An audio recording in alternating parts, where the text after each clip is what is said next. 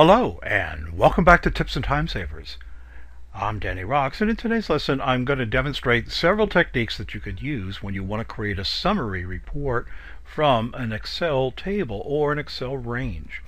Now, I have one viewer in mind as I create this lesson. The viewer wrote to me and said, Danny, management needs a, a, a, summary report periodically during the month. However, they refuse to allow me to use a pivot table to create the report. Can you help me?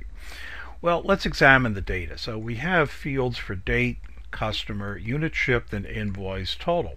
Let's see how many records we have. If I use the keyboard shortcut control and the down arrow, it's going to take me down to the last row that contains data.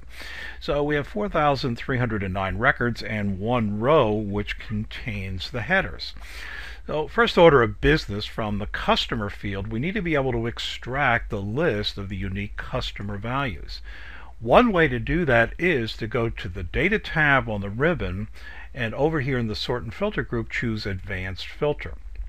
Now from the advanced filter what we want to do is we want to be able to extract this list. So I want to copy it to another location, the unique records only. Now, you may have automatically the entire data range selected. So in this case, what we want to do for our list range is we want to select only column B.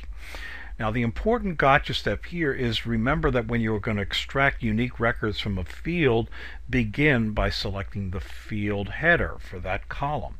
Then hold down Control Shift and down arrow to take you down to that last row. Because we're selecting or extracting unique records only from one field, we do not need a supply criteria range. Now, where do we want to copy it to? I want to copy it to the first uh, row in column F. So I'll just type in there F1. And now when I click OK, there you go. I'll move the cursor up here. So I've now used the advanced filter to be able to extract from column B a list which is sorted in the sequence that they appear in the list. All right, now what I want to be able to do is I want to be able to provide a summary. Before I do that, what I recommend that you do is over here in your data range, first convert it to an Excel 2007 table, an Excel 2010 table. If you're using Excel 2003 or earlier, convert it to a list. So with one cell selected in the original data set, come up here to Insert and say Insert a Table. Notice that there's also a keyboard shortcut, Control T. So now what you do when you click OK, of course you get a shading over here, which I'm going to change on the Table Tools, which is a contextual tab on the ribbon. On the Design Gallery, I'm going to select a more moderate range for my table. All right, now that we have that, one of the main advantages of the table, remember presently we have 4,310 records. But this data set will grow, as my viewer has said. So when you create a table or an Excel 2003, convert a range to a list, as you append records, then your definitions for your formulas will automatically expand. All right, next step is that I want to be able to create named ranges for the customer field and for the invoice total. So what I'm going to do is I'm going to begin by selecting, including the label, and use Control Shift down arrow. So now I've, again, I've selected all of the values in the customer field, and I'm going to use a keyboard shortcut, Control Shift function 3 to open up the create names from the selection. So the label that I'm going to use is in the top row. It's called customer. So my name range is going to be called customer. As you'll see if I come over here to the name range box, and there it is. There's the customer field. So I base the name of this field on the customer field label. I'll do the same thing over here for the invoice total. Control Shift down and I want to be able to use Control Shift F3 to open up create names from the selection once again from the label that's in the top row. Click OK. And let's again test out. So the name ranges that I've created, customer, which you just saw, and from the name uh, drop down, invoice total. All right, now I'm going to use them in the sum if function. So I'm going to put over here a label, call it total. Let's call this average. And let's call this count. All right, now I want to be able to copy over the formatting. An easy way to do that is to right mouse click, use your format paintbrush, and then click over here to copy the formatting. All right, let's use the sum if function. So equals sum if and I like to use the function wizard dialog box. So at this point, either click this button up here, the insert function, to open up the wizard, or control A to open up the function arguments dialog box. All right, we want to be able to summarize the sales for only the ABC company. That's why we're using sum if the range that we're going to look in is going to be that name range called customer. So after you've named a range, if you use the F3 keyboard shortcut, then it opens up all of the names that we've created in this worksheet. So in this case, it's the uh, the customer field label uh, field, and the criteria that I want to look for in the customer field is for this customer. Now, when I find the records for the ABC company, then what do I want to sum? I want to sum the invoice total. So F3 brings up that range. So the invoice total over there, click OK, and now click OK. Now let's do some formatting over here. Let's again right mouse click. Uh, I want to use the currency symbol with zero decimal places.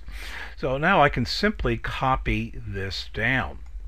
So now I have a nice sum for each of the customers. I first extracted the unique customer names using the advanced data filter. Then I used the sum if function.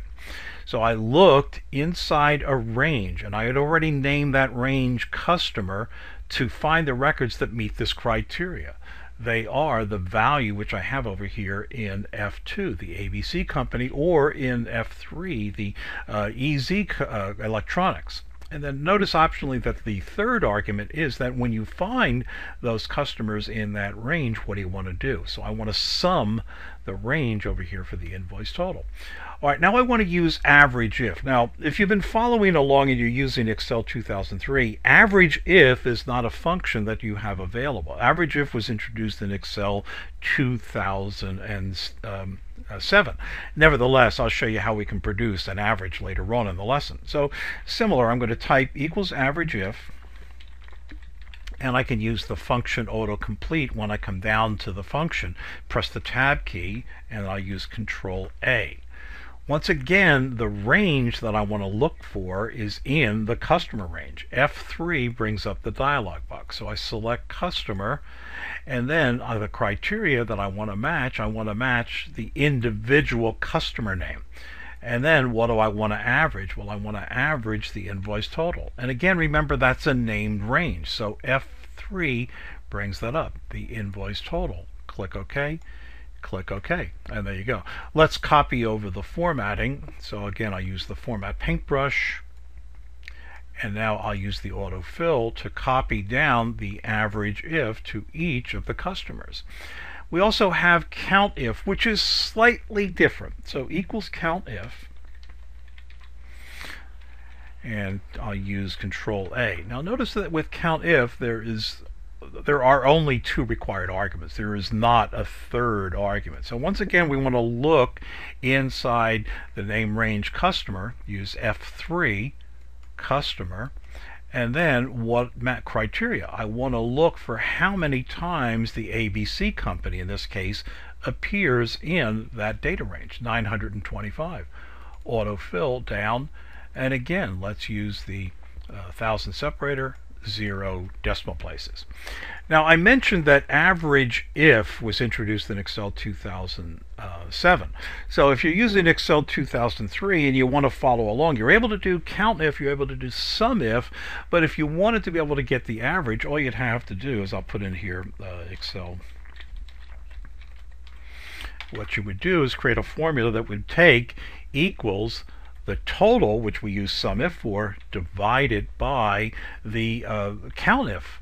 So there you're going to get the same number. So there is your average. And again, we can copy over the formatting with the format paintbrush.